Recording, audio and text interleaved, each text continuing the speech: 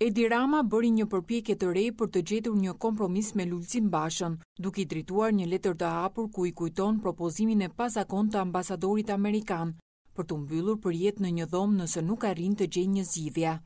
Dje ambasadori Lu bëri propozimin e çuditshëm që ju dhe unë të mbyllemi përjetë në një dhomë.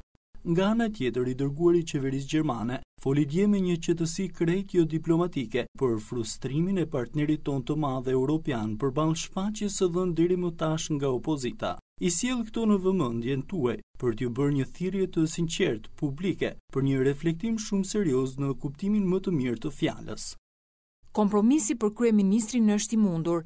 Ai thotë se është në pritje të propozimit të ri të opozitës, me kushtin e vetëm që të jetë i pranueshëm për partnerët. Ndërkohë që propozimin tuaj të fundit ata e kanë rrëzuar dhe publikisht, mbetem me padurim në pritje të një reagimi konstruktiv nga ana juaj. Koha nuk pret, sfida është historike. Njëzet e një korriku është dita e miratimit të reformës.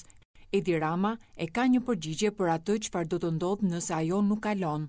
Ne nuk duhet të lejojmë kurrsesi që Shqipëria të turpërohet botërisht si vendi ku Kuvendi nuk kaloi reformën në drejtësi, sepse deputetët nuk donin përfshirjen reale të partnerëve të vendit tonë në procesin e pastrimit të sistemit të drejtësisë nga gjykatësit e prokurorët e korruptuar. Kjo është një nga ato njolla që nuk hiqen për një kohë shumë të gjatë ndërkombëtarisht dhe që kushtëzojnë cilësinë e marrëdhënieve më të rëndësishme ndërkombëtare të vendit. Edi Rama shprehet i gatshëm për një takim të dytë me kundërshtarin politik. Lulzim Basha në përgjigjen e tij nuk flet për takim, por për negociata, mbi propozimin e demokratëve. Zoti Rama, lëri letrat e hapura dhe shfaqjet publike. Reforma në drejtësi kërkon seriozitet dhe impenjim. jo tallje as manovra politike. Propozimi ynë bazohet njëqind për qind te rekomandimet e Venecias, të cilat PD dhe PS i kanë pranuar si udhërrëfyesit e vetëm. Autorizo negociatorët e PS-së t'i rikthehen negociatave për zgjidhje.